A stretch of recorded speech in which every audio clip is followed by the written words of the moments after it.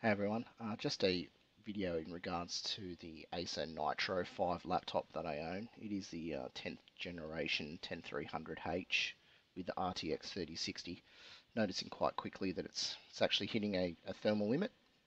Um, and even though this processor, I believe, uh, can now put 45 watts, um, it's very quickly hitting a thermal limit.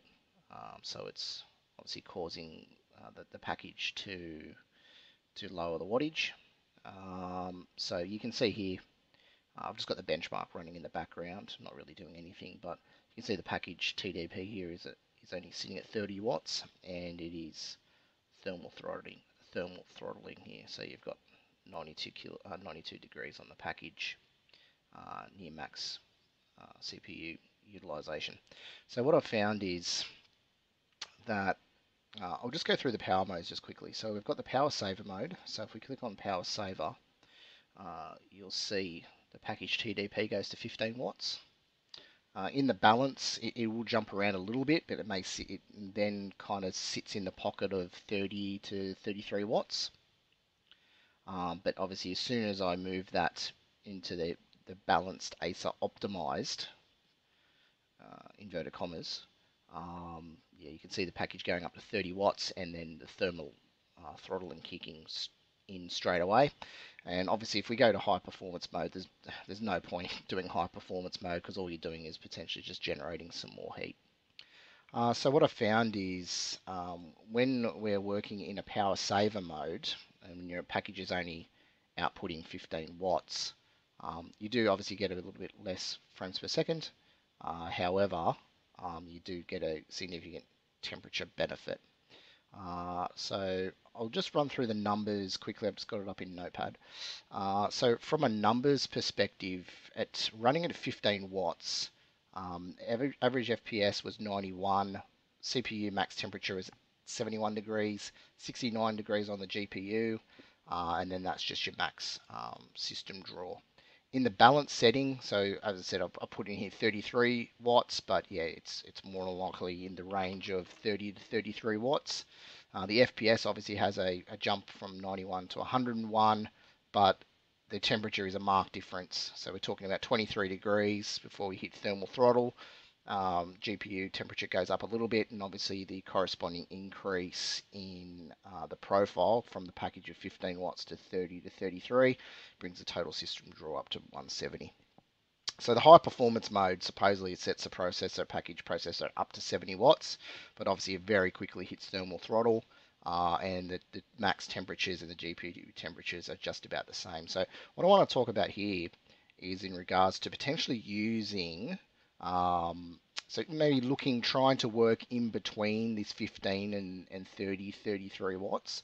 What can you potentially do here without going to do Throttlestop or anything like that, uh, or any, any BIOS settings or anything like that. So what I've tried to use is, is downloading the Intel Extreme uh, utility uh, and running the package at 25 watts and disabling any turbo boost short power that may be running.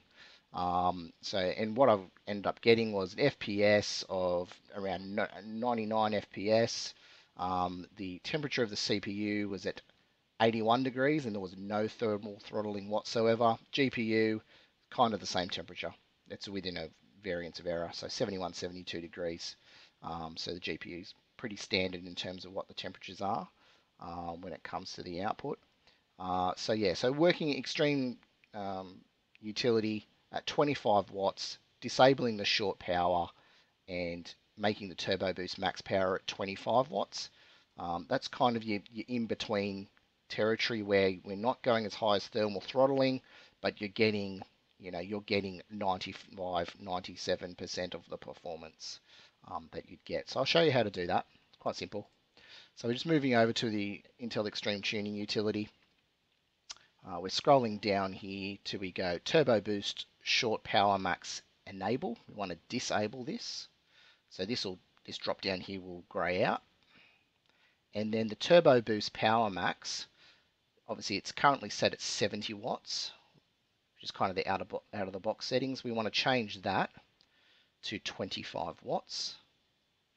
and then we want to apply. So this is pretty locked down. You know, there's not much you can do here with the de default BIOS settings, set it at 25 watts, um, and you will get, you know, if all things are being equal, you'll see a drop in CPU temperature, and you'll get, you'll still get 90, you know, you'll still get a very very close to the FPS that you're expecting to get if you're operating on any of those Acer balanced or high performance settings and you're not taking the, the performance potential performance hit that you are getting when you're running it in power saver mode.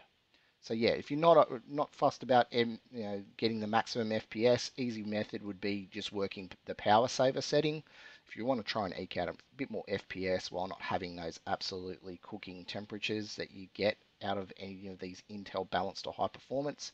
I'd work with the 25 watt uh, out of the Intel Extreme Tuning utility. Uh, and just for giggles, I did the 30 watt setting. Um, same thing, short boost power, uh, turbo boost short power max was disabled at 30 watts. Um, yeah, I was virtually almost getting the identical frames per second um, again with a corresponding increase in temperature. But again, this was not thermal throttling. This was staying at 85 degrees kind of all day, every day. Um, so yeah, so this is just a, a quick video uh, in regards to utilizing the Intel Extreme uh, tuning utility uh, just to try and manage those temperatures a little better on the on the Nitro 5 with the 10th generation i5 because it's clearly the the cooling solution that's that Acer have put in this model is, is not good enough to sustain the, the true power of uh, the two wattage of of the 10300 series um, because there's no way you know you, you, can't even handle the package at 30 to 33 watts let alone the 45 watts what it's actually designed uh, to run at. So uh, thanks everyone for watching